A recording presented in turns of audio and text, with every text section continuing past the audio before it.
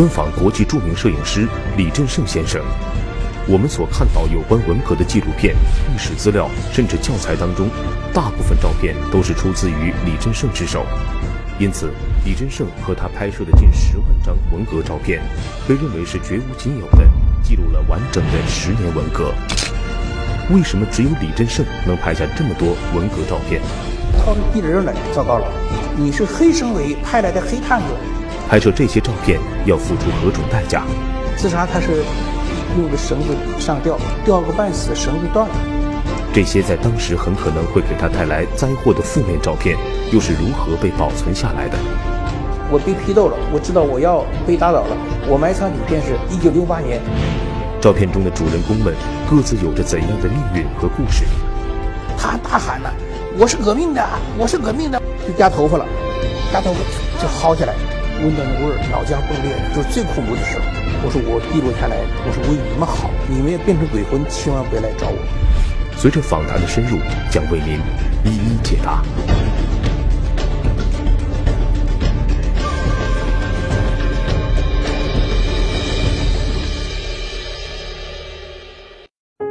我现在所处的这个环境，不大的房间，很简朴的陈设，让我觉得很亲切，因为很像是我小时候住过的家，好像上个世纪六十年代末到七十年代，甚至八十年代初，中国很多城市普通人家都是这样的基本的设备，有这样的床、这样的墙、这样的书桌，甚至是一样的台灯。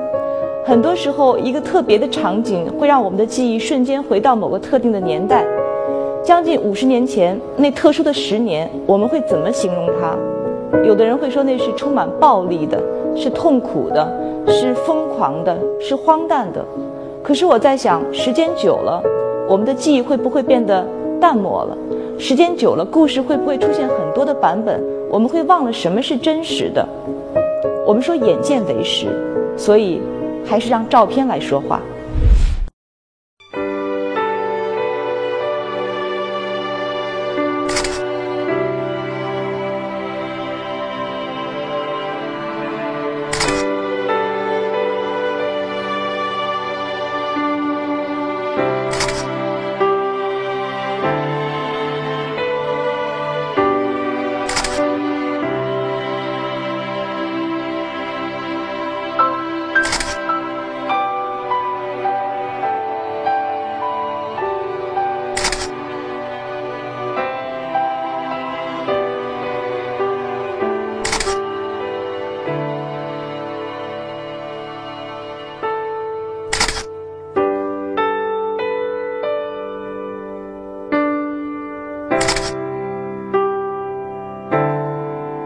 这十章记录文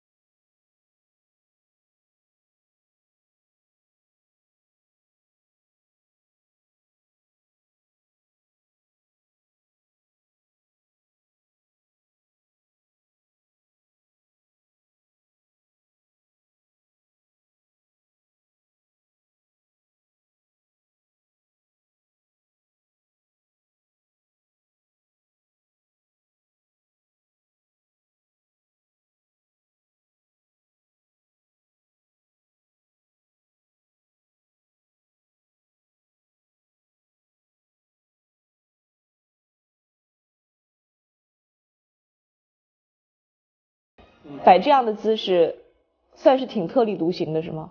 我拍摄的那个动机是什么？我是在长春电影学院毕业的，本来是一腔热血要献给党的电影事业。我这次想过一把电影瘾呢，就是集编剧、导演、演员、摄影于一身，四个职务都能看到。编剧，您的意思在这个照片的背后还有一段情节？哎，我对这想法，我这想法弄着，呃，故作这个英雄状啊。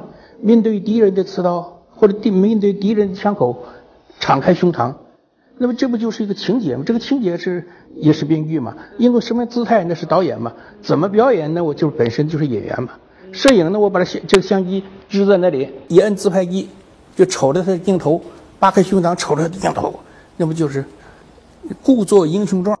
我在想，如果这张照片在在那个年代，你的同事看到了，上级看到，他们会觉得是一个。会引起轩然大波吗？倒不会成为一个和政治有关的事件，至少你这个人太张狂了。后来在那个纽约，我的经纪人和一块编这个书的时候，就是那个《红色新兵》的书的时候，三万张底片呢，他一张一张的往挑着看。后来有一天，他突然蹦起来了，哎呦，兴奋的不得了，将要震撼世界的作品被我发现了。那个时候我女儿在给我做翻译，我女儿靠近着上去看那个。偷写台那个底片，我女儿跟我讲：“爸，你怎么还有这样的照片？”啊，我这张照片怎么了？我跟妈妈我说：“你瞎说什么呀？我那有什么样的照片啊？”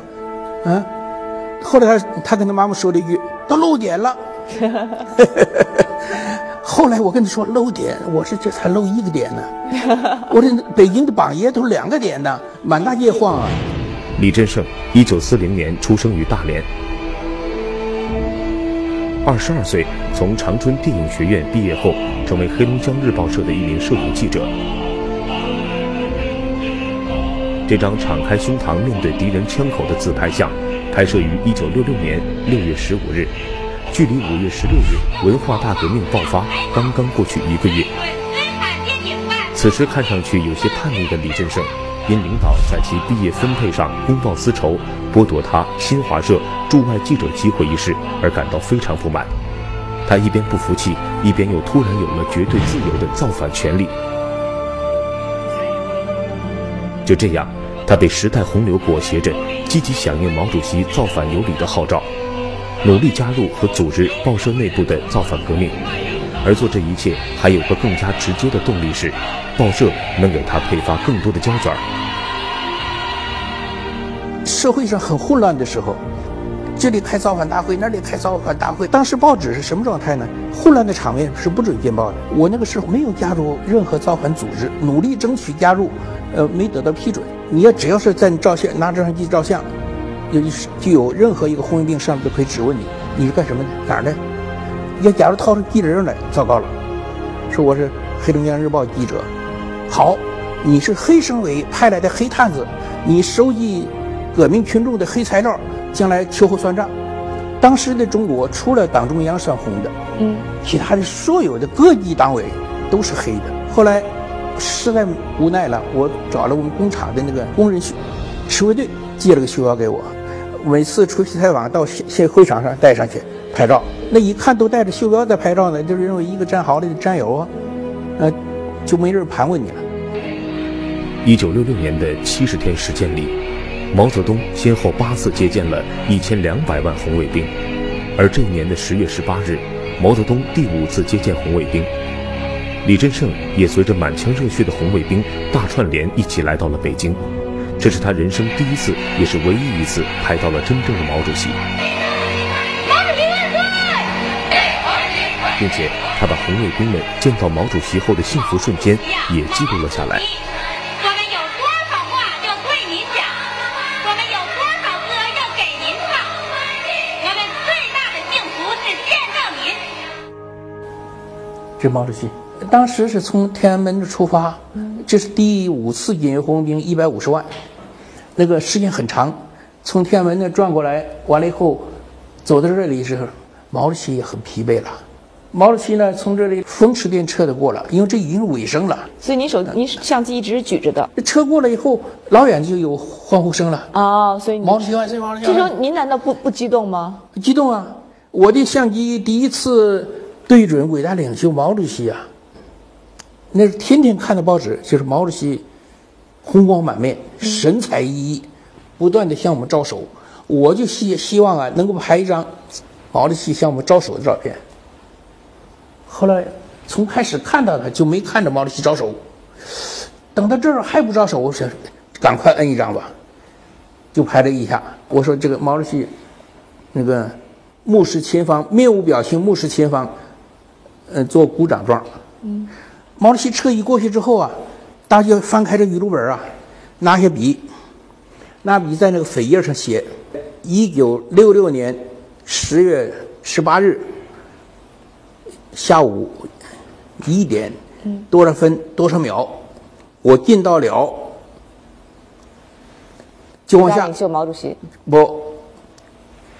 最最敬爱的伟大领袖、伟大的舵手、伟大统帅，我们心中的红太阳毛主席，在能写完整这个完整的这个这句话的前提下呢，那个“罪”字啊，就你你能写多少就写多少，罪罪罪罪罪罪罪罪罪罪罪罪罪罪，嗯，但是一定要把后面那个字写完整了。好，写完了以后，互相比呀，互相比呢，就是查呀，那个。说你写了多少个罪？说我写了十七个罪。哦，这时候在比呢，是吗？这时候在比。啊，就查，你看这还在这。啊，有的在写，有的在比呢。是我你呢？说我写了二十二个罪，那好像是谁写的罪字最多，谁就最最忠于毛主席。这个女孩写了多少啊？她写了十几个吧。那个去访问过她，她是一个在文革当中啊，呃，经历呢。呃，还是顺风顺水的。是当时参加这个时候，是哈尔滨那个呃那个师大的一个学生，师范学院的学生。后来在革委会工作，访问他的时候，他说：“我看到那些惨烈的场面，那个照片，他说我我都不敢看。”就他他自己参与过那那种没有，他是从来他连那个场景他都从来没看到。是，我那拍过这些照片吧，比如说某些大会上，包括刑场上，很多人说我参加了这个事儿。你参加了，可能坐在那个会场不哪个角落里，你连顶上影子都看不见。文革狂潮席卷神州大地，宗教寺庙也未能幸免，佛像被纷纷捣毁，僧人们为何自辱门楣，相互背叛？你摘下帽子，哦，你也是个秃驴啊！一块豆，就在这里面就带着红兵抄自己的这个寺庙的各个殿，几十万人的批斗大会。每一次造反大会现场是几十万人啊！当时的中国除了党中央算红的，其他的所有的各级党委都是黑的。七位省委书记曾经历何种身心摧残？就夹头发了，夹头发就薅起来，对，就是这样。我看得很清楚，那个从这头发根里就渗出来那些血珠啊。听李振胜讲述文革十年照片当中的故事，精彩正在继续。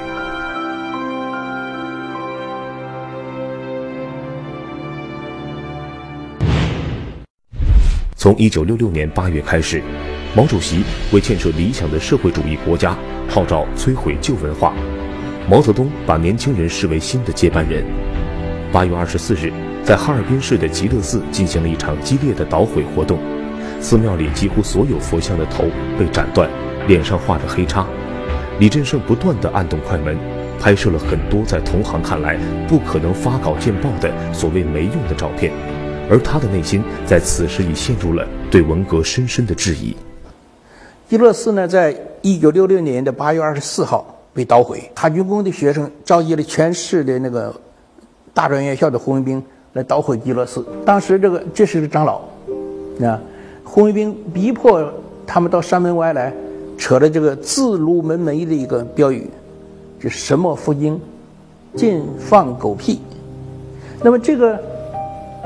这个人呢，我想说一下，我在里面拍照的时候，我就看到他戴着帽子，穿着个干部服，还别着个钢笔，嗯帽子。那么这个带着那个红卫兵去抄这个大殿里有什么，那个大殿里有什么，就是他就革命了，造反了。那么这样的话，就在里面就带着红兵抄自己的这个寺庙的各个殿。后来出来的时候呢。到山门外面来批斗的时候，他站在旁边想看热闹，结果一个上去一摘下他的帽子，一听那个声音说话，说像个和尚，一摘下帽子，哦，你也是个秃驴啊！一块斗，他大喊呐：“我是革命的，我是革命的，我带着你们那个在里面的那个抄了很多那个封自修的东西呢，就是那些都叫封封自修的。后来外面的红卫兵也不知道这些东西，就是一块批斗了。你看他帽子掐在手里，化妆了，穿着干部服，这些人你看都都穿穿着僧服啊，呃僧侣服。那么他还在那，那个那一张照片就是他还在笑。笑着看他的长老，他现在长老，你看这，你看，长老平日对他管束很严，他是当时是这个和尚当中最年轻的，五十三岁。当时就觉得对宗教文化的浸他达到了无以复加的地步。在那个年代，这种想法是肯定是反动的。呃，不，我拍个照片，我没说呀。但您心里面想的不会吓自己一跳吗？这个想法？嗯，自己吓不着自己。你看，把这这些那个。呃，这金属的这个铜像都搬出来，也打上叉，戴上帽子。而且很奇怪，我看到好多周围的人参与的人脸上是有笑容的。你看，就是对让大家参观嘛。人是有笑容的。是啊，就是在这个时候，你你说他们心里不善良吗？我想人们都是善良的。我真的越来越觉得，不在于你心里面是不是善良，只要你做了不善良的事儿，我觉得就是不善良。文文革的十年，就是中国人民。集体的癫狂，这个人当年五十三，这这个时候是九十三，呃，基罗斯的方丈，那么后来说他他说，最后他挣扎了半天说别别别说了，那他心里很痛苦，就是当年他做的事情，后来他把他的力精力都用在重建基罗斯上。听啊，那个您的是那个徒弟说，您现在对对不不要说了。不说了哈，哎，我受过高等教育的李振胜深知宗教是文化的象征。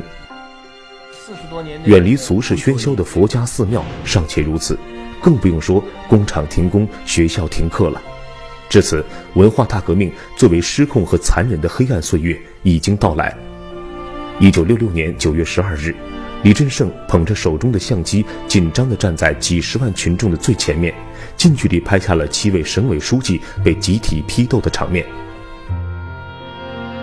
啊，这个就是有七个省委书记集体挨批斗，从李凡武二把手到这个七个省委书记，嗯，他们注意他们手呢，每个人的手都没有一个是垂手而立的。哦，在捧着那个牌子。那你看，前面都看不到他们的手。嗯。呃，正面一看呢。在场的这几万那个群众一定会以为叫后板了，那他的手也看不到，这儿刚刚露出一点点来，实际上是个铁板，铁板八号钢丝拧的，你看，这就是一个铁板在用钢丝挂在他脖子上，很沉重哎。任仲夷这个人呢非常随和，他当时的职务是黑龙江省委书记兼哈尔滨市委第一书记。在这个省市两级这个几十万人的造反大会上，被批斗。每一次造反大会现场是几十万人。哦，对，这个这个大这种场景场景上就是一个大的体育场啊，上面就是观礼台啊，下面本来是比赛的地方啊，那么这个比赛的地方都坐满了人，台阶最下面一台，让他和革命群众一块儿听批判，发言当中常常都是制造现场效应，喇叭就高呼了，把反黑帮分子任仲夷揪出来。就拉上台去，拉上台以后，就给他摆设上个椅子。这个椅子是很别有用心的，这种折叠椅，你要是往前站了，站不稳就趴下去了；那往后站了，他就会夹起来，还是摔你。那么站住了就让他这个抹鬼脸。后来那个红红卫兵啊，就端着那个那个脸盆，他站在椅子上嘛，就冲着他那个脸呢向上，这一抖，那个墨汁不就滴起来了吗？滴下他，你看脸上，把脸上都弄的，还知道往往往下滴，嗯，满满脸都是黑的了。这个帽子呢？哦，那是个帽子，很长那个帽子。但是你看，还戴着那个鹰绳呢，是吧？嗯，这个帽子号是做小了，做小了以后一戴，你看这戴裂了。他为什么背着手呢？有的人在这出了个主意，那个绳子在这插破了这个帽帽子拉在身后，你看这个绳子在后面，他两个手拽那个绳子头，让这个高帽子不掉下去。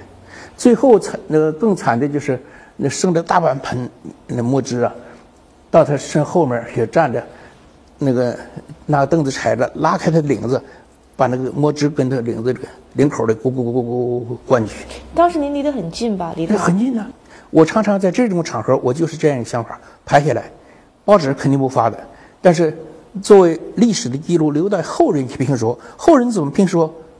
您当时有一种很清晰的想法，哎这个留留待后人去评说啊，。是这些照片你拍它干嘛呀？报纸不印报吗？浪费胶卷吗？这种想法在那个年代是很很特别的。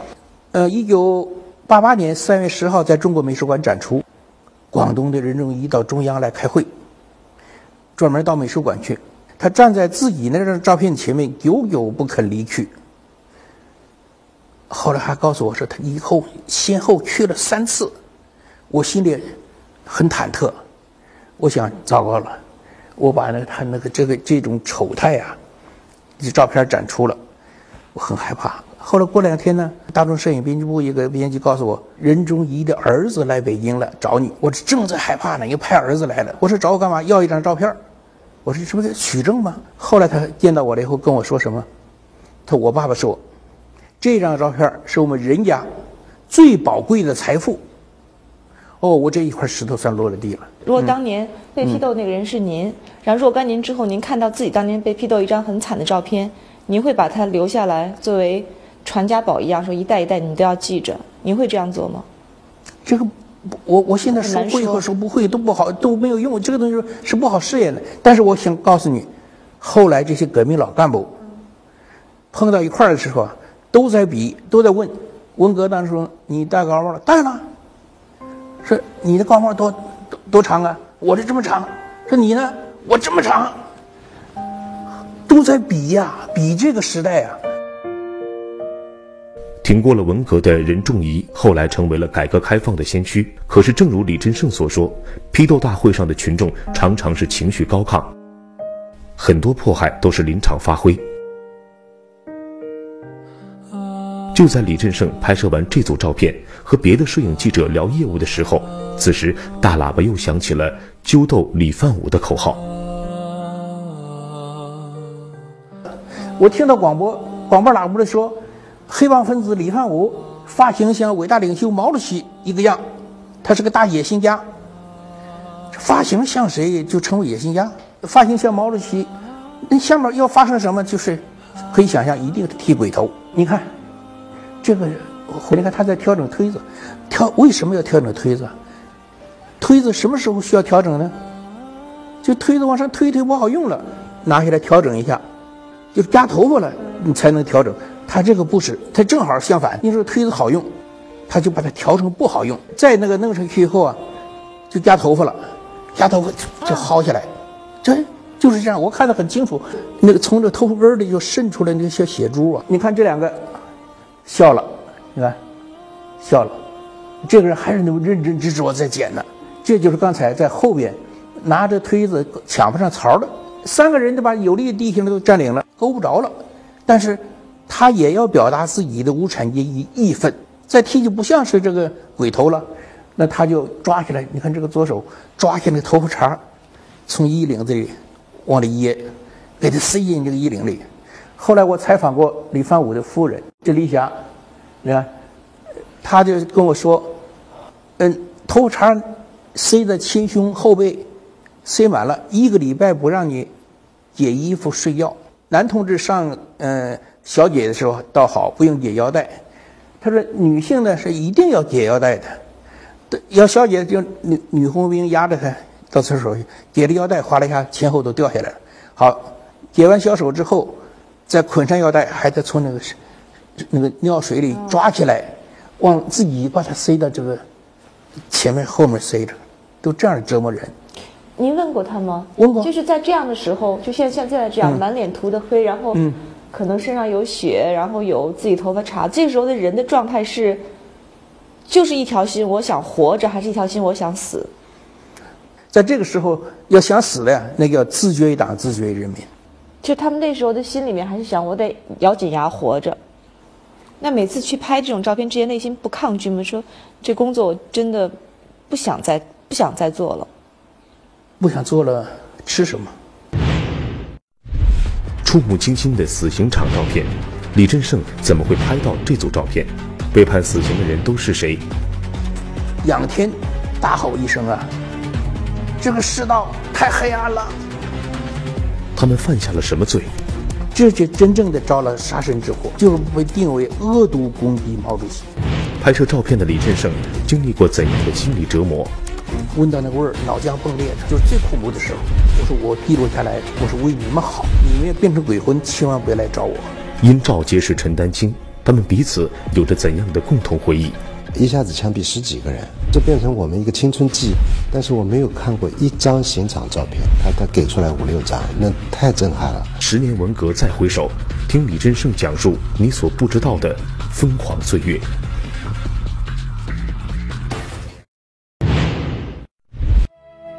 如果说文革以来各种揪斗的暴力场面，因为天天有天天见，人们变得越来越麻木，那么一九六八年四月五日这天，却是李振胜脑海中永远都挥之不去的恐怖记忆。那天正好是清明节，空气里塞满了令人压抑的死亡气息。照片中的两个人是哈尔滨电表仪器厂的技术员。乌炳元和王永增因为散发了一张油印的小报向北方，而被打成反革命集团主犯。这张照片呢，一九六八年四月五号清明节这一天。哇，每个时间点您都能记得很清楚。嗯，这是哈尔滨的一个坟场啊，当时枪毙一女七男，一共八个人，其中呢这两个是政治犯，吴炳元、王永增，他们刻印的一个呃油印的一个小报。报名叫做向北方，这个报名就给他们带来了杀身之祸。在黑龙江，在哈尔滨，向北方，北方是谁？前苏联。嗯，那不叫前苏联呢，当年那叫做万恶的苏修社会帝国主义。你向北方，你不是向往苏修吗？那个时候的报纸是要登上毛主席语录的。嗯，这个毛主席语录呢，他们也这样照做了。这两句话用的什么呢？领导我们事业的核心力量是中国共产党，指导我们思想的理论基础是马克思列宁主义。这样是完整的使用毛主席语录，没错的。但是下面又加了两句话：这是颠扑不破的真理，不允许任何人篡改和代替。这个就被定为恶毒攻击毛主席，这就真正的招了杀身之祸。我没明白。领导我们事业的核心力量是中国共产党。指导我们思想理论基础是马克思列宁主义，这是毛主席的话，对对吧？那么他下面加两句是：这是颠扑不破的真理，不允许任何人篡改和代替。这不是意思我再一次肯定毛主席的语录吗？非也。他认为你是别有用心的。哎，领导我们事业的核心力量是中国共产党，是集体领导。嗯。指导我们思想的理论基础是马克思列宁主义，你现在用毛泽东思想了。那么就说不允许任何人篡改和代替，就说你毛泽东篡改了和代替了，你自己说的话又被你篡改了，用你个人的那个专制领导代替了共产党的集体领导，用你的毛泽东思想代替了马克思列宁主义，因为这两个人受过高等教育的知识分子啊，说这个知识能给自己带来好处，有时也带来这个祸害啊。其实他这个矛头指向了毛主席，很多人还没看出来。当年挂这个牌子是什么样的？提前呢，在宣判大会上的时候，这个牌子处理呀，判处死刑立即执行。这个字他们也不知道，挂上的时候实际就是已经定罪了，就要判你死刑。但是外面的牌子写的是反革命集团主犯，没有这个红叉，也没有下面这个立即执行。但一宣判的时候，上去人了，摘下来，转个个再挂上。他当时没想到会判死刑的，他就。仰天大吼一声啊！这个世道太黑暗了，就闭上了眼睛，以致压到刑场上处决之前，始终不睁眼。他就想到，我这个睁着眼睛和闭着眼睛，这世道都是那么黑暗的，一样。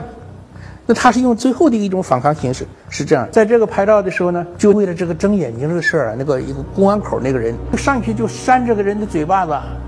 咔咔扇，睁眼，睁眼，他就至死也不睁眼。枪决人的时候都叫做，呃，印明正身，绑赴刑场执行枪决。印明正身，他就是起这个作用。临到死的时候，他都拍下照片了最后贴到那个死刑档案上去。后来我我是被打了，我也有一种人都死将死的时候了，你还去扇他嘴巴子干嘛呀？就在这个时候，上来一个人站这儿了，站这儿一下，他一下就挡掉了四个人，好像八支枪打四个人似的。我我拍拍他这肩膀，我说：“哎，我说你挡我画面了。”他跟我招个手，还照样站着。哎，我这个人怎么这么牛？我说：“刚拍一张吧。”拍一张以后之后，我想你不躲，我躲你，我就端着相机往这边转。就在这个时候，我看他，他手一摆动，他举起手来了，放下。后来这边立即就举起旗子来。我当时还想按照看电影的习惯，都说预备，射击。我就想谁喊呢？我第一次上刑场，但是说是迟那是快，我端着相机。那个在移动的时候，枪响了，就拍的这个画面。这组死刑照片曾被刊登在1996年美国《纽约时代周刊》，偶然间被久居异国他乡的陈丹青看到后临摹了下来。又过了很久，两人在一架飞机上偶遇，一见如故，在机舱过道的狭小空间就聊起了那个他们共同经历过的疯狂岁月。你看，在纽约那样的空间，然后在九十年代，当时我出国已经十来年了，呃，每个人都会很想念中国嘛。那我们会注意每个周末版的《纽约时代周刊》，不是报纸周刊。那那一期的这个《时代周刊》就收入了他的文革照片，大概有五六张的样子。那最震撼的就是枪决、行刑。那这又唤起我一个记忆，就是文革那年我十三岁，从我十三岁到十七八岁之间，我们有生活里有有有一个这惯常的内容，就经常会看贴出来的枪毙人布告，呀，一下子枪毙十几个人，呀，现行反革命、强奸犯、什么什么贪污犯、什么坏分子什么这些，所以这变成我们一个青春记忆，但我们从来没有进入过刑场，我看到过刑车。就从我们学校门口开过去，因为那会儿公审，公审是非常侮辱人的呀。就这些人挂的牌子，宣布判处死刑，立即执行，呀，呃，几乎每周都有，在在最动乱的那那那那几年，六六六七年、六八年，呀，那各地都是这个样子。但是我没有看过一张刑场照片，那忽然他他他给出来五六张，那太震撼了，因为那不是一个法治的时代。是是是，很多下级机构就能决定一个人的死刑，然后用非常野蛮的方式，呃，解决。所以我拍的那个瞬间呢，就是可能是那个行刑者的领导去拿着枪去看是不是都死了，呀，就拍。所以我在飞机上，呃，飞机上遇到这个李增生的时候，我我第一个问题我记得我就问他，哎呀，我说你。你你拍刑场的照片太震撼了，你当时是是是，你的记忆是什么？他说的我永远不会忘记。他说我凑近拍的时候就一股血腥气啊，这个我永远忘不掉啊，没有人可以给出这个细节。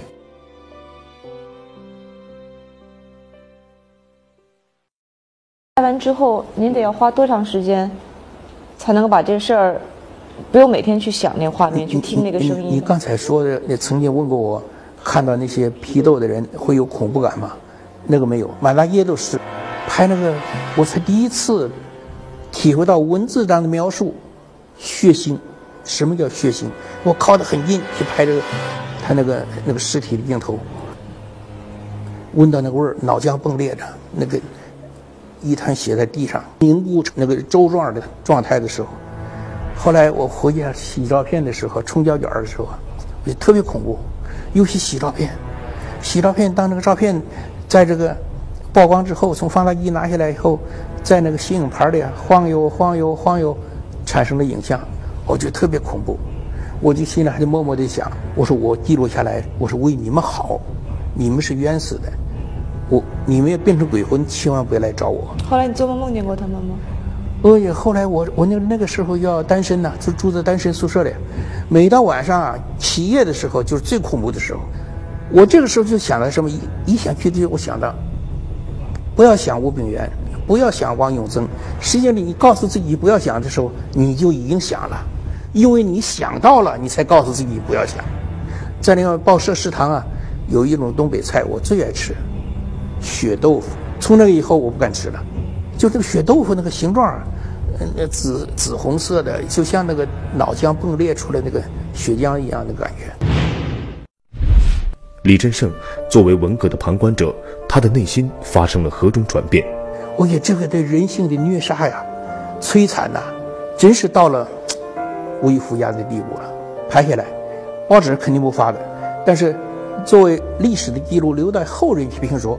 而作为文革的亲历者，文革之势持续蔓延，等待着他的又会是怎样的命运？自杀，他是用个绳子上吊，吊个半死，绳子断了。他失去了什么？又为何对文革产生了恨？一夜之间，他就变成了地主狗崽子，对吧？那就是他跑，那对要跟我分手了。这对我来讲，那真是文革当中的一大痛苦。鲁豫有约，老友记，稍后为您讲述一个普通摄影师在文革中的血泪史。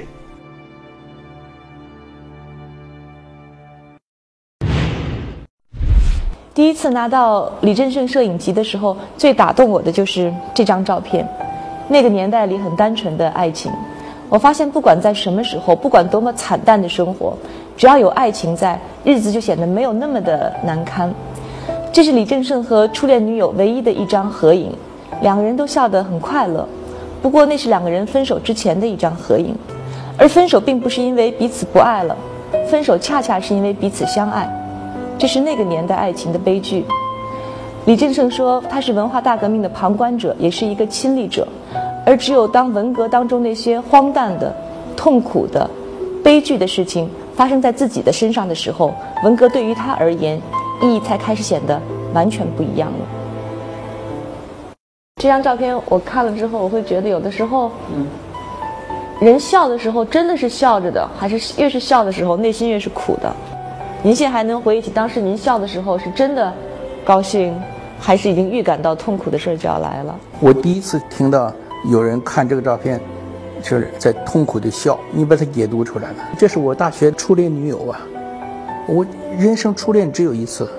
李振胜的初恋女友名叫孙培奎，是长春电影学院表演系的同学，两人大学时悄悄相恋，毕业后因工作分居两地。有一次，女友如往常一样去哈尔滨看他，令他万万没有想到的是，女友这次来是跟他提分手，分手的理由竟是不想拖累他。原来，女友的母亲是大连金线纺织厂的一名女工，文革中被污蔑是地主家庭出身，遭到了批斗，也抄了家，还要游街示众。女友的母亲不想被羞辱，便决意自杀，死得十分惨烈。自杀，他是用个绳子上吊，吊个半死，绳子断了。断了以后，他清醒过来以后呢，又看到手手上还有个手表，那就算贵重财产吧，想留给女儿或者说是儿子。爬着到那个院墙上去，平房的放在窗台上，一最后一头撞死在厕所那个石头上，石头垒的院子里的厕所，撞死了。一夜之间，他就变成了地主狗崽子。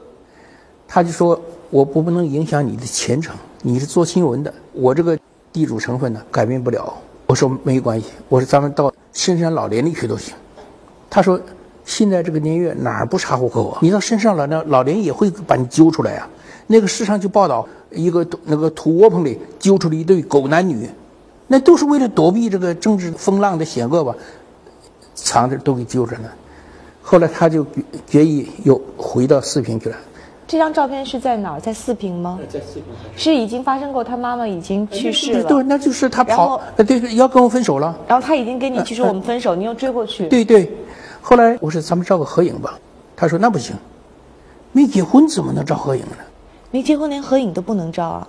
她是很传统、很传统的那个女性啊。后来我说好，我给你照一个镜子里的照片吧，欺诈的照啊。我这拍的时候呢，她就说：“哎，我跟这镜子里看着有你，你在这里面啊。”我说：“你那个角度看着我我在里面，我从我这个角度看，我不在里面。”您当时拍就是想明白这是一个告别的合影。呃，我那个时候还心不死啊。过了半年，他给我寄了一张一封信，那封信里呢，有一张两二寸的那个黑白的照片，就是他结婚照。他说：“呃，我找到了一个男人，你忘了我吧，就让我忘记他。人家结婚了，我这个这个心是的死了。要再不死心，那就图谋不轨了。那个当时在真的很残酷。如果是对人性的折磨的话，这对我来讲，那这真是文革当中的一大痛苦。一个是因为爱而离开，另一个因为爱而走近。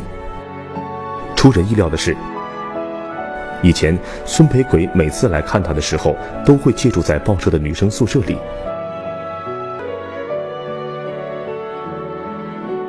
最后把祖英霞介绍给了李振胜，也许他认为这是唯一让他放心的最好人选。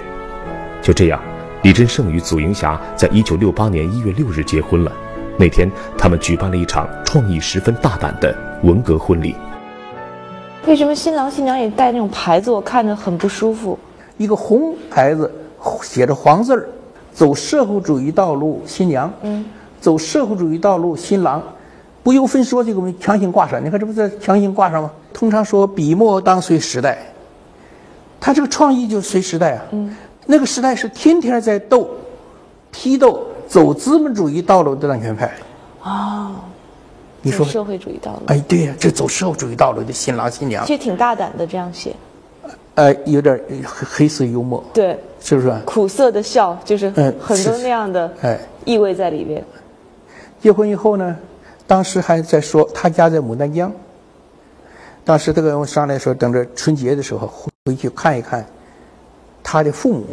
就在这一年的十一月一月份结的婚嘛，十一月份他接到了一封信，是他哥哥给他写的，说这个咱们的父亲呢自杀了，他说你要马上找组织汇报，和父亲划清界限，他自绝于党，自绝于人民。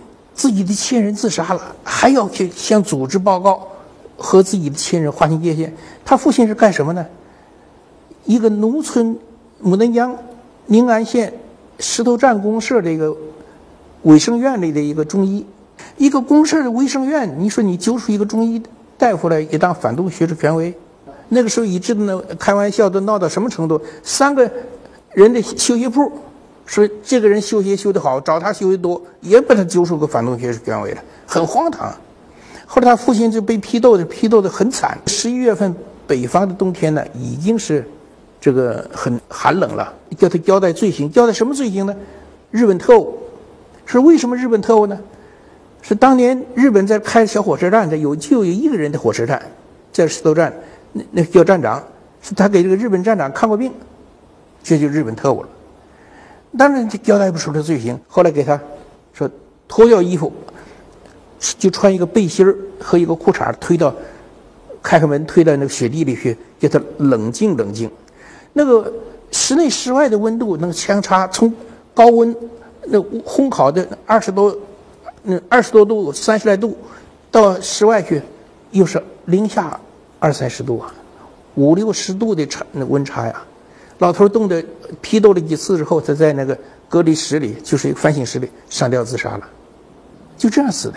我们结婚了以后，他接到了信以后，大哭，就是在家里是嚎啕大哭啊，哭的眼睛都哭红了。第二天呢，那个时候不能是休班啊，不能啊，他就弄凉水水滴着眼睛上班了，找工宣队去报告。我的我的父亲呢，这个自绝于党，自绝人民，我也和他划界限。我觉这个对人性的虐杀呀、摧残呐，真是到了无以复加的地步了。预感到自己即将要被打倒时，李振胜做出了怎样的抉择？我埋藏底片是一九六八年，我我被批斗了，藏的那些负面底片转移到家里去了。会给他带来杀身之祸的大量负面照片，他都藏在了什么地方？每天晚上下班回来，跟跟这开始聚。我爱人怀着这个我儿子的时候，就跟这里挺着大肚子往外望风。又是如何保存至今的？那我觉得您托付的那个人真的很可靠。近十万张底片，几十年后一经公开，震惊世界。这些照片给李振胜带来了怎样的荣誉和质疑声？会有很多中国人说：“你把我们那么不堪的过去让大家看到了。”半世纪前的老照片都是真实的吗？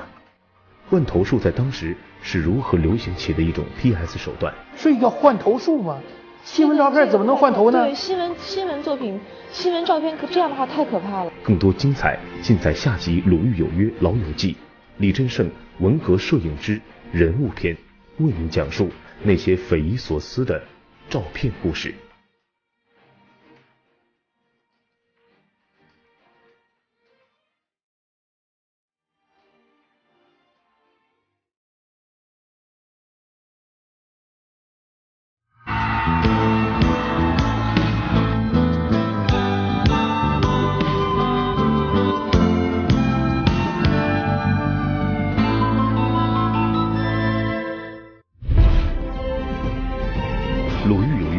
记》专访著名摄影师李振胜先生，他和他拍摄的近十万张文革照片，被认为是绝无仅有的记录了完整的十年文革。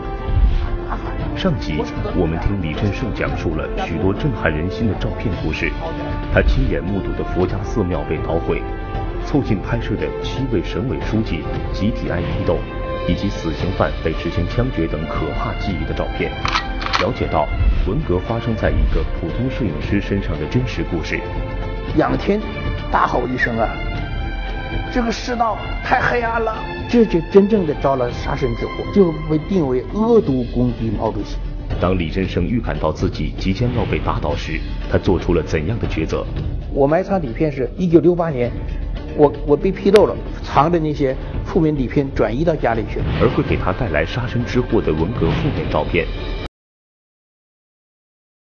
搬回来跟跟这开始锯，是如何保存至今的？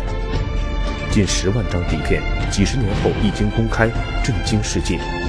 这些照片给李振胜带来了怎样的荣誉和质疑声？会有很多中国人说：“你把我们那么不堪的过去让大家看到了。”半世纪前的老照片都是真实的吗？换头术在当时是如何流行起的一种 PS 手段？鲁豫有约《老友记》，李振胜文革摄影之人物篇。为您讲述那些匪夷所思的照片故事。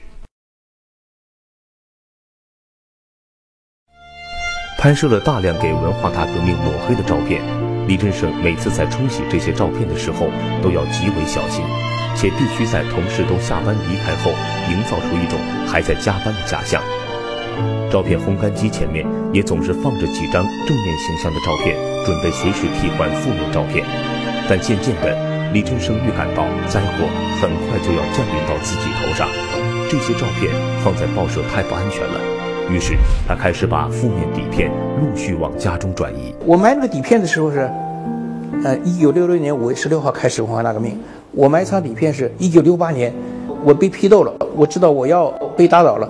提前从办公室的隔层里，啊，那个那暗格里藏的那些负面底片转移到家里去了。嗯，转移到家里就在这个墙角呢，这不个墙角吗？嗯，这个地板下面，那个挖开那锯开了一个洞，锯开了一个书本大的洞。嗯，因为我们住的是那个就是苏联人的俄国人的那个平房，那么在这锯的时候很厚啊，那个非常难锯啊。每天晚上下班回来跟跟这开始锯，锯了一个多礼拜。李振胜居住的一间简陋房子是早年俄罗斯人修建的老式平房，地板下面是架空的，结实的厚地板给李振胜锯洞口增添了很大难度。为了防止锯开的洞口暴露或坍塌，他只能斜角度向下慢慢的锯，而同时李振胜害怕锯洞的声音被路过的邻居听见，就让当时怀有身孕的妻子在窗边帮他望风。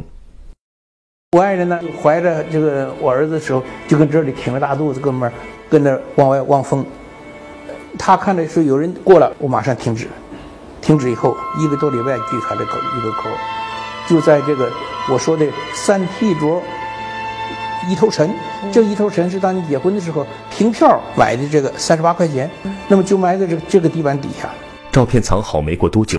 李振胜就被以报社革委会地下黑司令部的黑司令罪名，在大会上被揪斗。那天是一九六八年十二月二十六日，他被报社的知左小将押到台上，站在他曾经批斗过别人的地方。作为新生资产阶级分子，被批斗了六个多小时。当天晚上又连夜被押着抄了他的家。而最令李振胜担心和紧张的是地板下藏的那些文革负面照片。一九六八年的十二月二十六号，我被大会上批斗了六个小时，过了后半夜了。在那个时候，如果这些底片被发现了，最坏的可能性会发生什么？发现了第一条，底片点把火就烧了。嗯，人呢？人和家呢？人肯定是挨批斗了。你再次的开大会批斗，这叫会有可能判什么刑吗？或者是很很严重的很难想啊，刑法？我想会会有的，因为是严重的抵制文化大革命。嗯，你你看，你把这底片你还留下干什么？嗯，你将来不想向毛主席发动文化大革命的亲反攻倒算吗？嗯，这不是新生的语言吗？嗯，所以后来这个底片，呃，抄家的时候，我就站在这个地方，呃。装装作没事一样的，很轻松的看着他们抄我这里，抄那柜子，抄那抽匣啊，这抽匣也都开了，小柜也都打开看了，我的日记被抄了，嗯，我的那个我跟我爱人的一些照片呢，那个被抄了，通信呢被抄了，都公布啊。来抄您家的人，您都认识吗？就是报社的人呢，有同事。总体来讲算同事，但是骨干就是在报社制作的一些。革命小将就是大学生。那这些人后来您见过吗？文革之后见过。他们来跟您说抱歉，没有没有说的，没有说。其中有一个人带着五六个人坐的吉普车来抄家的，有一个高个子红卫兵，在我被隔离反省的时候，曾经打了我。若干年后回到报社去，他从那个一走廊上过，逆光当中看到，嗯，好像是李振胜。啊，他又不敢，因为好多年没见了。后来我说，我叫了他的名字，我向他走过去。哦，我伸过手去，他十分紧张，脸已经涨得很红。他一定是记住了当年他打过我一巴掌，扇了我一巴掌。我伸过手去，他可能可能要报这一一巴掌之仇吧。我停在那里，啊，他才伸过手来跟我握手。我觉得这就够了。抄完家的红卫兵离开后，李振胜直接瘫软在床上。好在这些底片暂时躲过了一劫。第二年秋天，李振胜和妻子祖迎霞双双被发配到柳河五七干校接受劳动改造。离家之前，两人担心万一生命遭遇意外，地板下的秘密就永远不会有人知道了。于是他们左思右想，最后像刘备托孤似的，把地板下的底片托付给了他们一生中的贵人。李明达，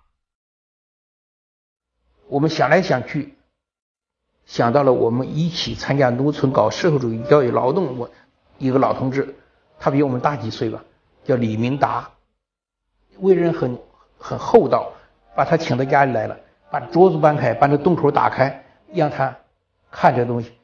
他说这是什么？我说这些底片呢，都是给文化大革命抹黑的那个照片。他说：“你抹黑的，你要它干什么？留它干什么？”我说：“有用。”它有什么用？我说：“有什么用？我也说不清楚，肯定有用。我们去五七干校，如果我们发生了生命意外，你记住，在这栋房子，在这个角落里，有一些底片。那我觉得您托付的那个人真的很可靠，他太了不起了。数十年，一直到二零零六年，面对的电视机，李明达他才说出来这个这个秘密。网上本来有人说我，你买底片的事只有你和你的爱人，这不足以为证的，有旁证吗？其实我有旁证。买底片为什么需要旁证呢？不，现在质疑我呀，就说我编了很多故事，说这个人造反的时候他是个正宗造反派，他编出来这个底片埋在地板底下，这也是编出来的故事，就想否定嘛。我现在就说我为了证明文化大革命。就是今天你整我，明天我整你，互相整。父母那个揭发儿子儿女，儿女斗父母，学生打老师，就是这样。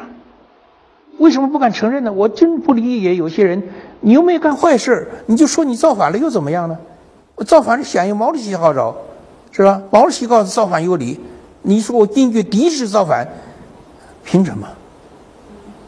你不能换了天地以后就说另一番另外一番话呀！历史的问题要用历史的眼光去判断它，去对待它。所以每个人都需要一个反思，需要一个忏悔。您觉得，只要经过那十年的人，对，可能都这个都需要反思这种反思啊，不需要非要有一种形式，在于自我，在于内内心。经常说，心中有佛，我即是佛。那么你心中已经有有愧了，你反思了，你心里就清净了。不一定非要举行一个，呃，媒体都来这里采访，我才举行一个什么那个，呃。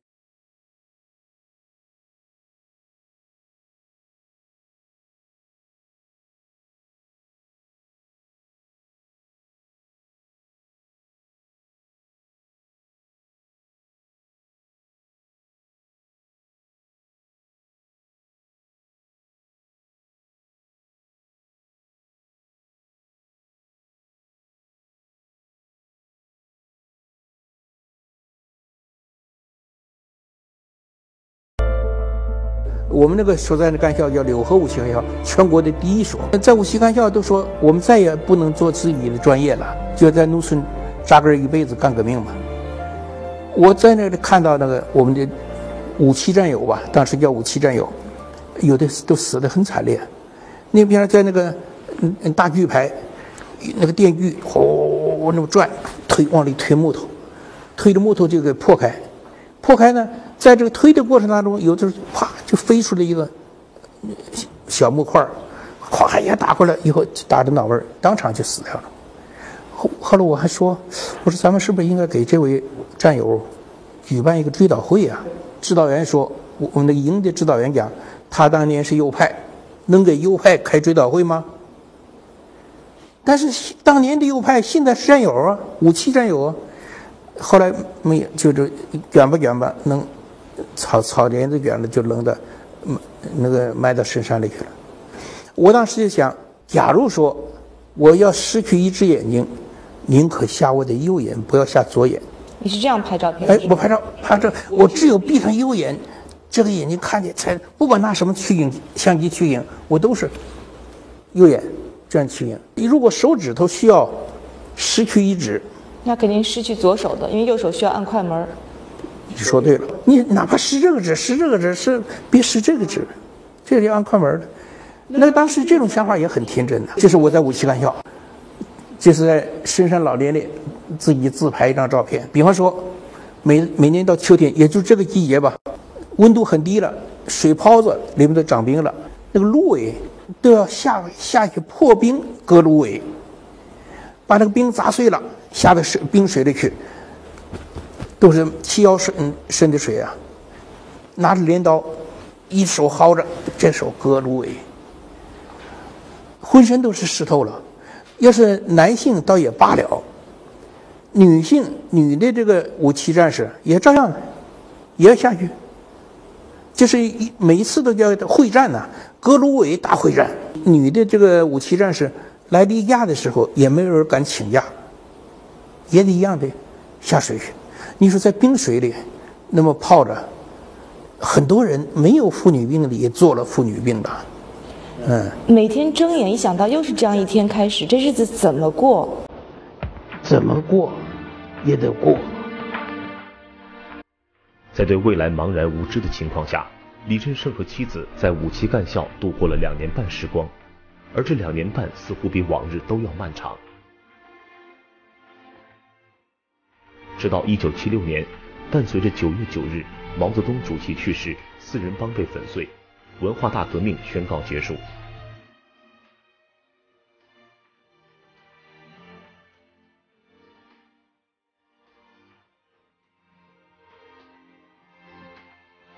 至此，李振胜在文革十年间所拍摄的所有照片，包括公开发表的和只能隐藏的，共计十万张。两位活学活用毛主席著作的先进代表，一个是昔日感动无数人的英雄，一个是能歌善舞的五岁小女孩。毛主席语录是那个年代的标志之一，很多与毛主席语录有关的故事，也常是李振胜拍摄的首选。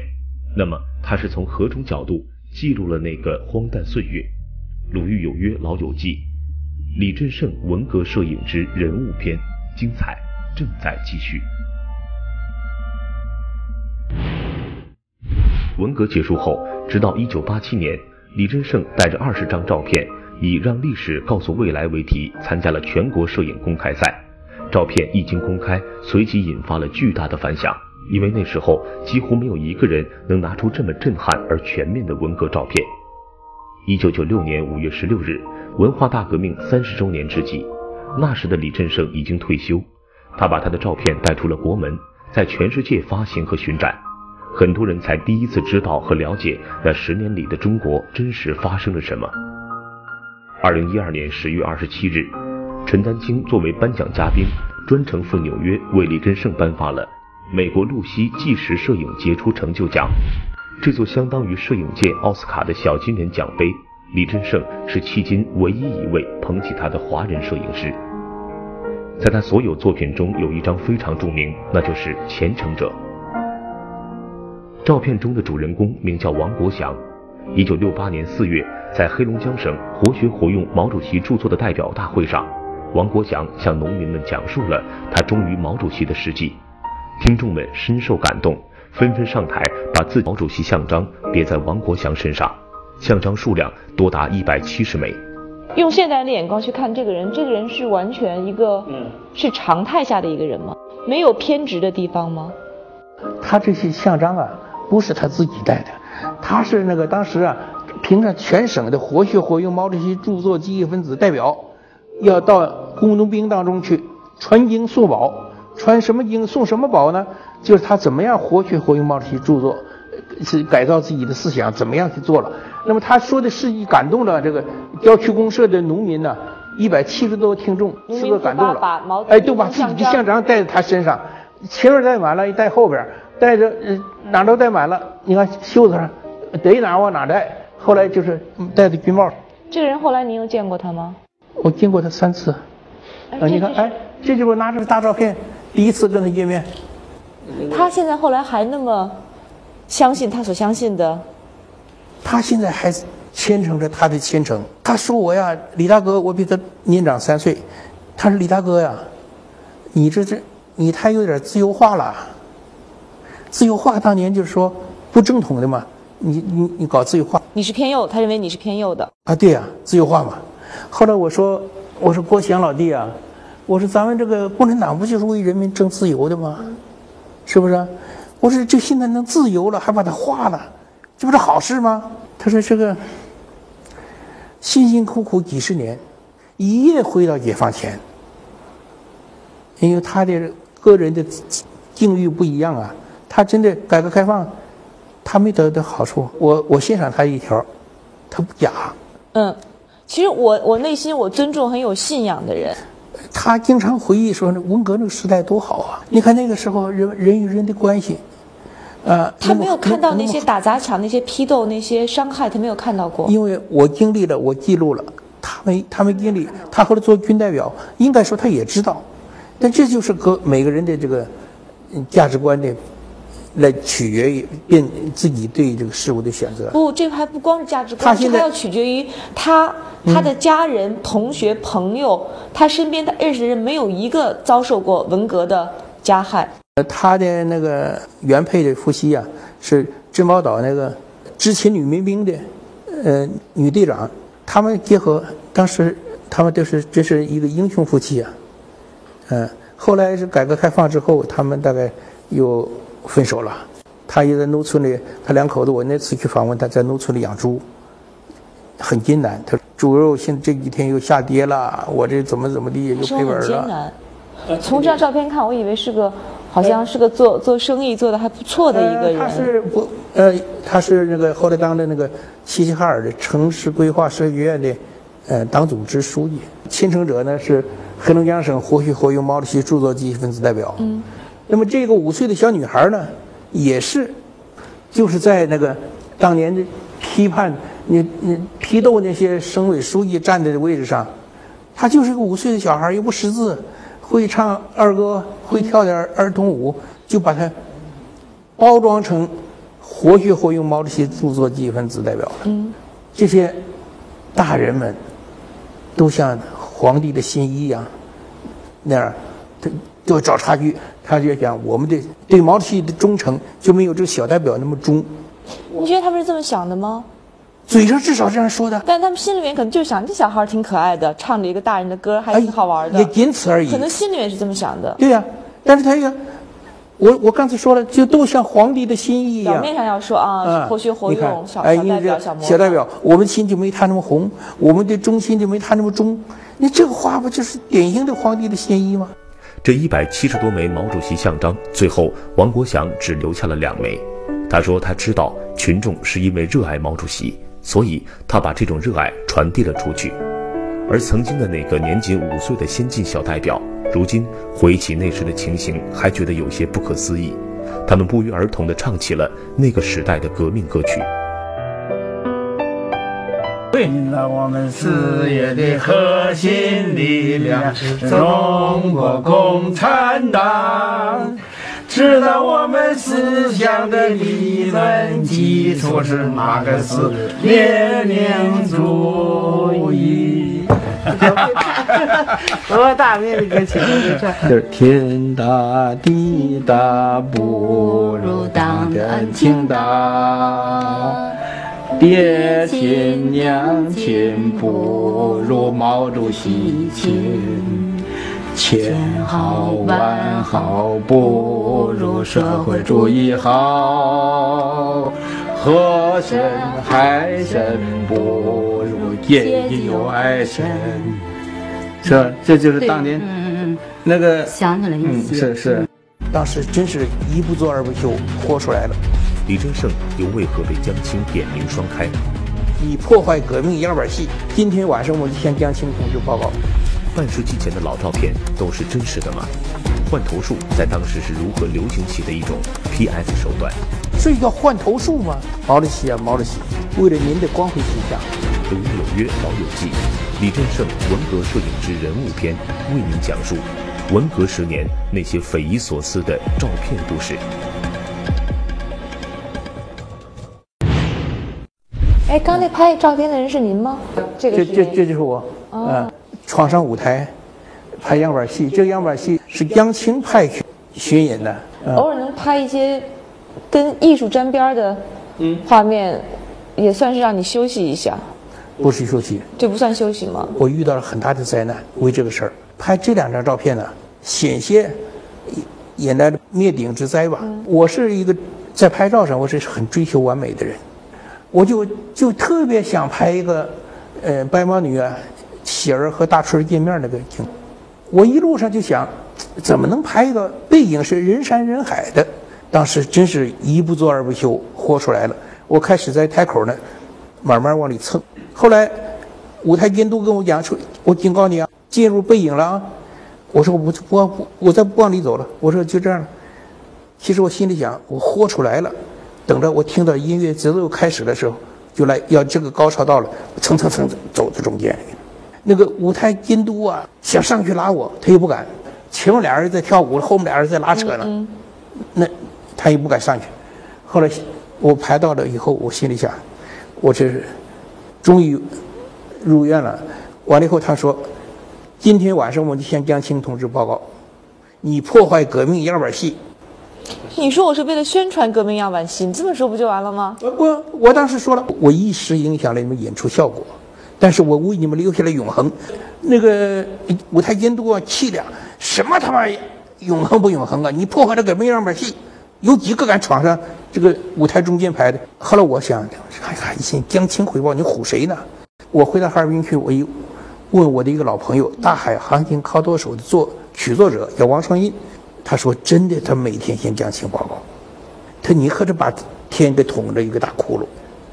第二天早上，团长就找了王双印，他这接待他嘛，吃早餐的时候，这江青同志指示了，要把那个省报这个记者双开，双开就算完了，开除公职，开除党籍。后来那王双印呢，就是他跟那团长讲说，他不能双开，单开，说不行，一定要双开。说他不是党员，怎么能双开呢？这怎么怎么会呢？江青都是说，省报的记者，省报就是党报，党报的记者不是党员吗？他说他还真不是。江青的指示就是被王双印给压下来。为什么？他说我到宣传部去汇报。王双印说我是代表省委来接待你了。你你说到我这儿，我就可以向省委转达，你们赶快上车站吧，要返北京了。就这么压下来，压了几到文革三十年的时候，他我们在一块见面了，才说出来。当年说上不高天，上对天，下对地，这个事儿就是咱俩知道，你知我知。当时全民都在积极学习毛主席著作，所以在李振胜的照片中，学习毛主席语录和喊口号的群众也常常是照片的主角。他们又有着怎样的故事呢？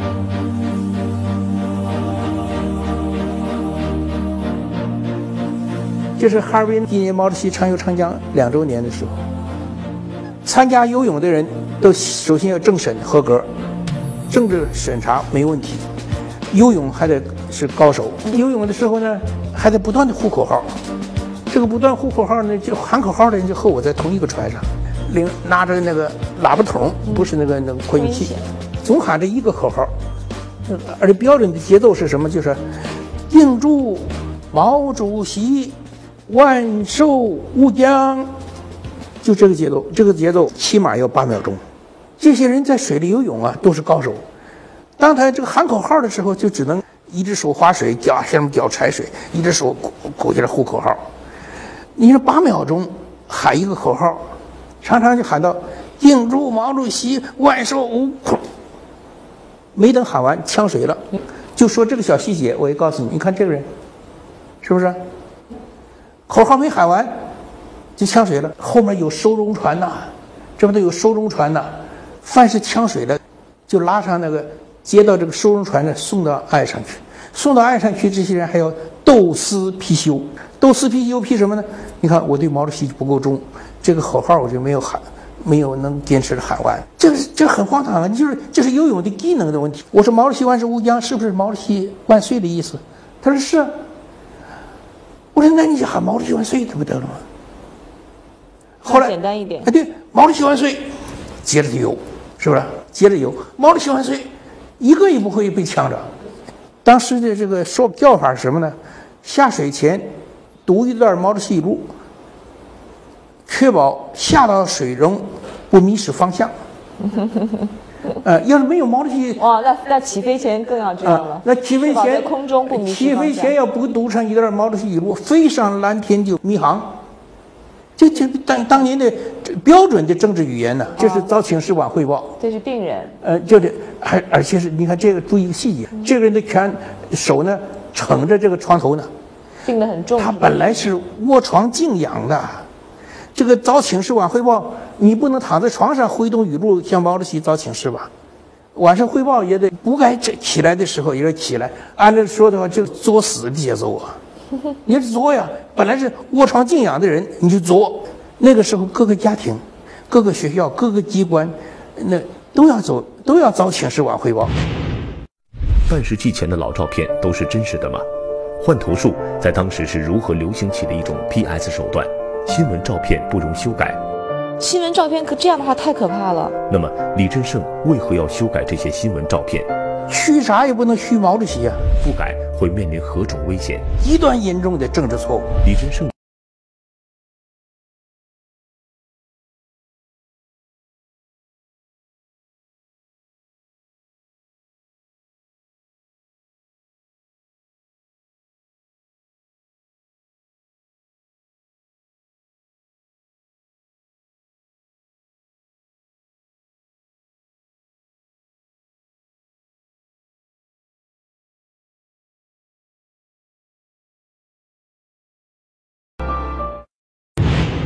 一九六六年八月十二号，呃，毛主席在北京接见那个工人群众的时候，他说了一句话，在这前面有前面前面有一个你们啊，你们要关心国家大事，把无产阶级文化大革命进行到底。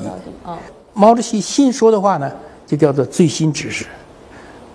毛选和语录上有的呢叫最高指示。那么举着这个这个标语是欢呼了。这个欢呼的时候，这这个照片当中有几处严重的、极端严重的政治错误。你别说啊，我我看我有没有政治觉悟，看你严重的呃，四处。嗯，好，咱一出呃就先从这个说吧啊。这本来是前面的一个重叠，嗯，前面在喊着毛主席万岁是吧？或者毛主席万寿无疆，和后面的像重叠了，这重叠了就是要打向了毛主席的下巴了。哦，这好个可以。呃，在这里呢，什么人用黑框啊？哦，黑框不行。不可能是黑框，哦就是红漆框。红漆框在黑白照片里，就变成了哦，黑框了。这也是死人才用黑框嘛，OK。是吧？这是一个嗯。好，再看这个，这个是如果说打到毛主席，将要打到毛主席还没打上，这个就是在封眼儿了。嗯你把毛主席一拳封眼儿嘛。再看这里，前面一个小挥动着前面的小三角旗，把后面那个这个字给遮挡了。毛主席的话说了，把要把无产阶级文化大革命进行到底。你看，这是文化大字没有了，这变成一个牛了。你看，就是个牛命。如果这样劲爆的话，就糟了。就我这我用那个广告粉呐、嗯，调成颜色和这个差不多，牛命变成了革命了吧？要不的话，这叫恶毒的篡改毛主席的最新指示。这个呢，框变成白的了。把那个框变成白的了，把那两个革命群众的坚硬的拳头，把那个胳膊给截肢了。这个胳膊现在倒看着好像是那个手伸在框后面抓着一个什么东西，举高举着那个，把这框那黑框修成白框了。那么这边这个呢，实在是没法修了。裁了。只能裁了。裁的时候啊，你还不能就公然的站在那个同事和面前呢，就跟同事面前拿起来咔嚓一裁了。假如说你你这个照片呢，你在同事的面前拿起菜刀来，公然的就从这儿咔嚓一刀裁了。事后要是我分成两派两不同观点了，就会造成所以要要悄悄的进行。要把毛主席就把毛主席放在铡刀底下，像刘胡兰那样一下子下去了。嗯这就是问题啊！后来我是怎么样跑到暗房里去？嗯跑到暗房里去了，心里还默默的念着毛主席啊，毛主席，为了您的光辉形象，嗯，那就只能这样了。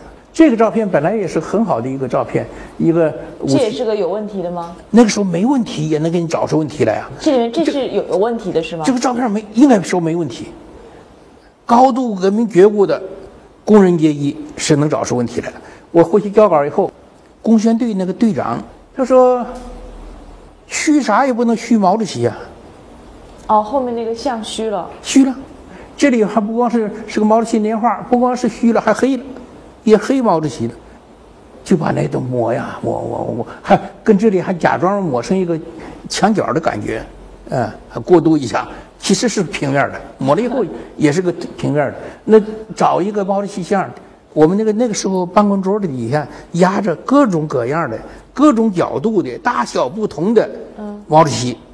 就准备修改照片用，那个贴上去还故意带点弯儿，好像贴点儿那个那这个地方假装吧的，呃裁起来一角，那么好像是被老太太给遮挡了。其实这个照片，毛主席是实的，但整个照片是从这个摄影的角度来讲太糟糕了，全前后都是一个平面啊。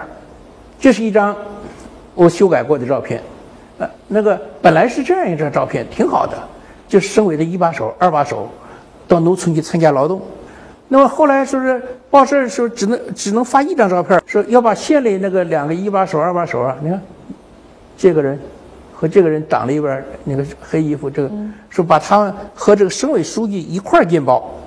后来好，我说那那只好采取换头术吧。二把手在这儿了，这一把手还在，这个本来是他的脑袋，把这个照片的脑袋绞下来了。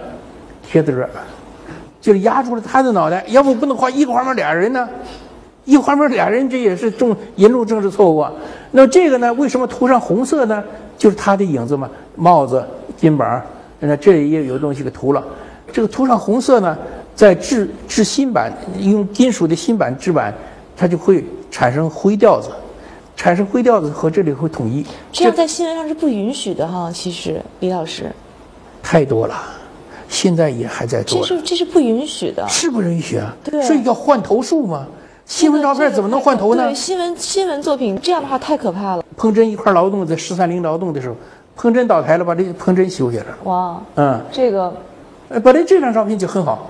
对，我觉得这张挺好的。哎，那个老太太那个也很好。我大妈那也挺好的。啊，对呀、啊，但是就把那个为了这两个人，就把硬生生的把一个贫农老大娘给灭了。嗯。就压上他了，把他给压压去了。像您这样经常要讲当年拍照片、回忆当年的事儿，那你有时候会不会有那种时空有点恍惚的感觉？就生人是生活在这个年代，但是常常要回到那个年代状态当中去。我我为什么我在演讲的时候啊，有时候满满堂大笑，还包括了讲一些故事的时候，也含着眼泪还在笑，这就是荒唐的历史，荒唐的故事。一当人们清醒地认识到这时候，就觉得它可笑、可悲。您是一个悲观主义者还是个乐观主义者？您觉得未来我们会有可能重复自己的错误吗？我是我对明天永远充满了乐观。我是这个呃抱着这个呃对未来充满呃永远充满希望的人。要是没有这个希望，我就度不度过不了这个苦难的文革。嗯我也不能就冒着生命一样的危险去保存这些底片。文革十年注定在二十世纪的历史上写下浓墨重彩的一笔，而与那个疯狂年代渐行渐远的二十一世纪新时代的人们，似乎已经不愿回首那十年给整个民族带来的痛苦记忆。我们德意志民族对外，你们是没有人去去侵略你们，你们自己在内斗啊。但是，文革真的会在历史中被遗忘吗？我怕在那一天来之前，我们忘了。再回首时，李振胜、陈丹青等这些文革亲历者又会如何描述他？当时的中国，除了党中央算红的，其他的所有的各级党委都是黑的。一下子枪毙十几个人，就变成我们一个青春记忆。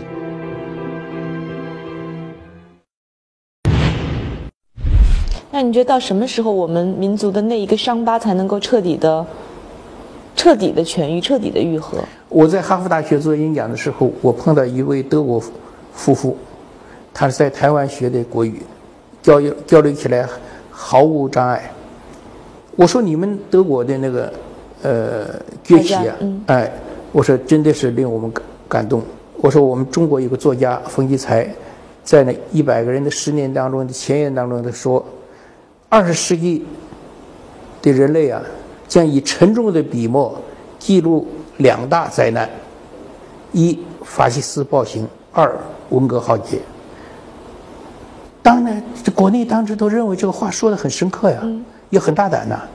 他那两个学者说，这完全两个事情，不能放在一块儿来对比。咱们的对比可能说的是对造成的伤害。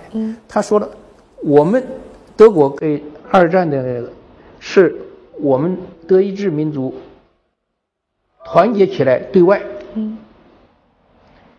侵略哈，去给其他国家造成灾害。你们是没有人去去侵略你们，你们自己在内斗啊！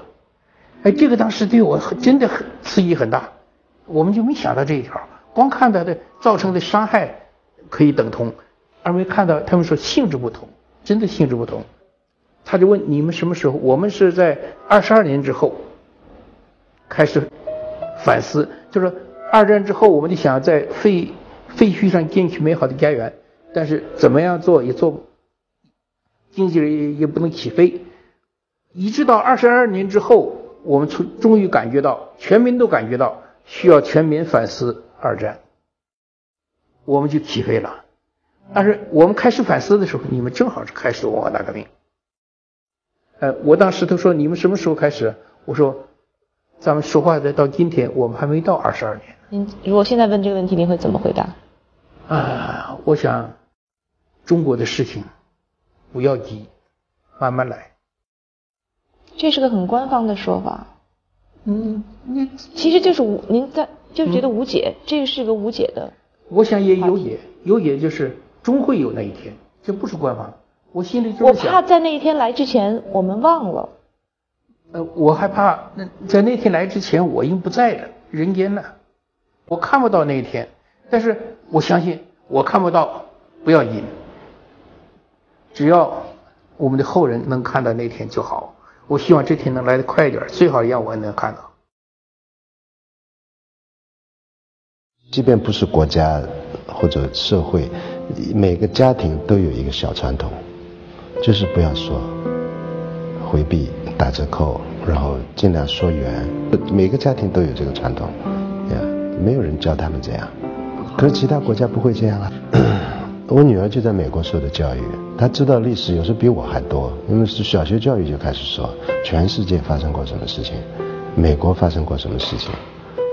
你看美国这个杀印第安人啊，美国怎么拿到这块土地，教科书都教啊，美国孩子都知道，就是我们拿到这片土地，有这个国家是几乎种族灭绝，美国孩子都知道，可中国太普遍了，不知道。但是从更高的一个文明的比较来说，我很难说哪一种文明更更对或者更有效。我觉得中国这个文明很有效，很有效。我一方面蛮绝望的，就是，呃，整个我们学来的这一套，就是一个现代的价值观，其实是西方的价值观，它开始在中国越来越似乎有效，但是当它碰到中国这么顽强的一个一个数千年形成的传统。它还是很很有限，很很脆弱呀，它不会变成一个全民的、全社会的一个共识，说我们再不能这样子，我们要要要要把头转过来看一看，到底做过什么事情呀？就面对我们前面就不堪回首的这么多事情，啊，不会在乎说这一关我们不过，我们这个民族就过不下去，不会，啊，会过下去，呃，这这会过下去，没问题。特别鸣谢场地提供崔永元口述历史博物馆，为我们还原了上世纪六七十年代老艺术家家里的原貌。更多精彩，请继续关注下周《鲁豫有约·老友记》，崔永元接受鲁豫专访，两个名主持之间会擦出怎样的火花？离开央视后的小崔在忙些什么？下期节目将为您还原一个真性情的时代勇士——崔永元。